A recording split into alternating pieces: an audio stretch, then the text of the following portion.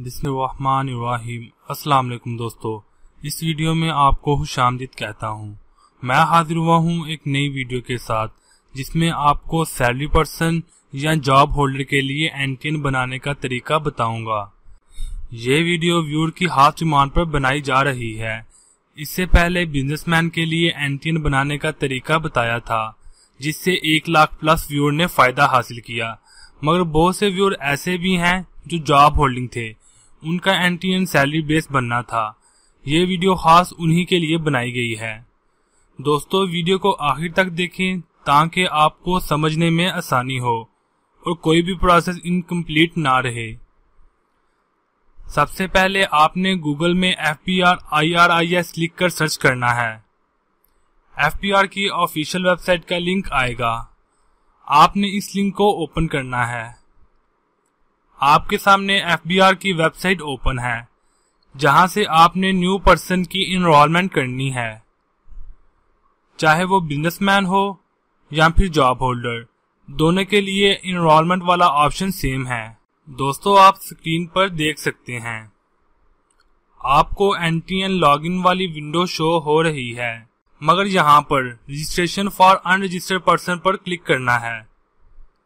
इस new registered window में आपने बेसिक इंफॉर्मेशन और कंटेक्ट डिटेल बतानी है। चले इसको फिल करते हैं। सबसे पहले शनाख्ती कार्ड का नंबर आएगा, जो कि तेरह डिजिट का होता है। उसके बाद प्रीफिक्स सिलेक्ट करनी है। मैं यहाँ पर मिस्टर लिखूँगा। आप अपने जेंडर के हिसाब से इसे फिल करें। उसके बाद फ़र्स्ट नेम मिसाल के तौर पर कंप्लीट नेम सेंसर एंटरटेनमेंट है। तो फ़र्स्ट नेम में सेंसर जबकि मिडल नेम ब्लैंक रहने देंगे, क्योंकि मिडल नेम नहीं है।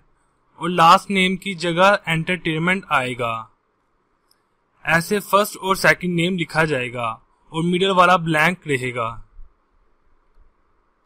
उसके बाद आपने जो मोबाइल नंबर दर्ज करना है, उस नेटवर्क का नेम लिखना है। दोस्तों, इसको फिल करने से पहले बताता चलूँ कि पिछली वीडियो में जो बिज़नेस एन क्रिएट किया था, उसमें as a sample number fill किया, जो कि क्लाइंट का था। उसके व्यूज़ लाखों में हैं और लोग उसे कॉल कर कर एनटीएन बनवाने का पूछ रहे हैं। लिहाजा इस वीडियो में नंबर हाइड किया है और इसकी जगह सेंसर एंटरटेनमेंट का ऑफिशियल नंबर स्क्रीन पर शो किया गया है। आप दोस्तों को अगर कोई भी हेल्प चाहिए हो तो इस नंबर पर कांटेक्ट कर सकते हैं।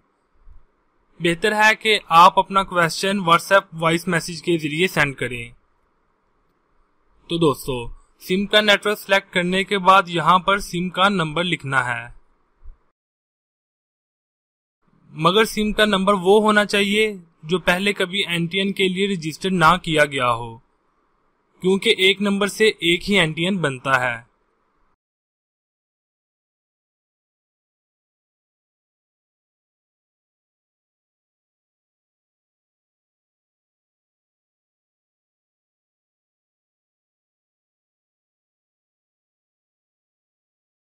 इसके बाद ईमेल एड्रेस लिखना है। ईमेल एड्रेस का भी वही होना चाहिए जो पहले कभी एनटीएन की रजिस्ट्रेशन में इस्तेमाल ना किया गया हो।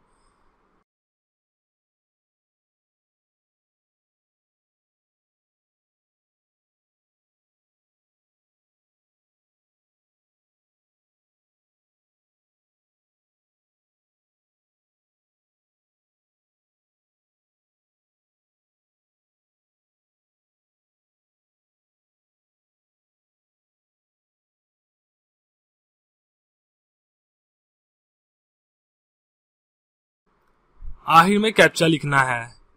कैप्चा इस वजह से होता है ताकि मशीन और इंसान को सेपरेट कर सकें। और लोग ऑटो मूड को इस्तेमाल करते हुए वेबसाइट पर काम ना कर सकें। कैप्चा लिखने के बाद आपने सबमिट पर क्लिक करना है।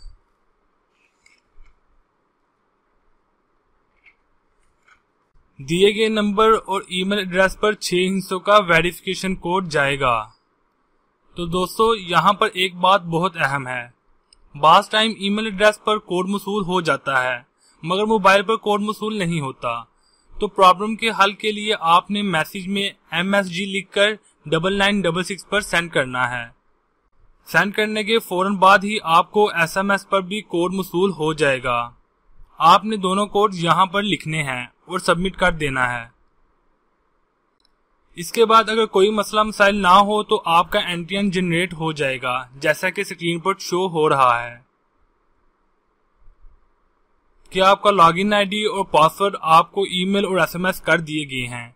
जैसा कि स्क्रीन पर शो हो रहा है कि आपका लॉगिन आईडी और पासवर्ड आपको ईमेल और एसएमएस कर दिए गए हैं। यहाँ पर एक बात वाजे कर दूँ।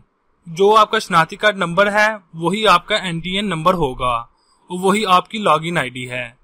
आप स्क्रीन पर देख सकते हैं। यहाँ पर login ID password pin code show हो रहे हैं।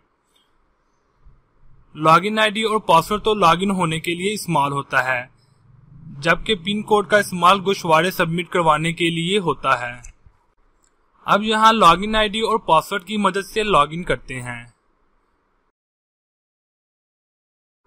लॉगिन होने के बाद लेफ़्ट साइड पर एक बार शो हो रही है, जिसके लास्ट में कंप्लीटेड टास्क का ऑप्शन है। अगर हम इस पर क्लिक करते हैं तो ये एम्प्टी होगा। मतलब कि हमारा एन टी एन मुकम्मल रजिस्टर्ड नहीं हुआ और अभी इनकम्प्लीट है। और यहाँ तक हमारी 50 परसेंट प्रोसेस मुकम्मल हुआ है। जैसे ही हमारा रजिस्ट्रेशन का प्रोसेस मुकम्मल होगा, हमारा फॉर्म इस रजिस्ट्रेशन टास्क में शो होगा। अब चूँकि हमारा एन एन इनकम्प्लीट है तो ये ड्राफ्ट में पड़ा है, जैसा कि आप देख सकते हैं। ड्राफ्ट में फॉर्म 181 पड़ा हुआ है। आपने उसे क्लिक कर कर एडिट करना है। एडिट पर क्लिक करने के बाद आपके सामने ये विंडो शो होगी। यहाँ तक बिज़नेस एनटीएन और सैलरी एनटीएन दोनों का प्रोसेस सेम है।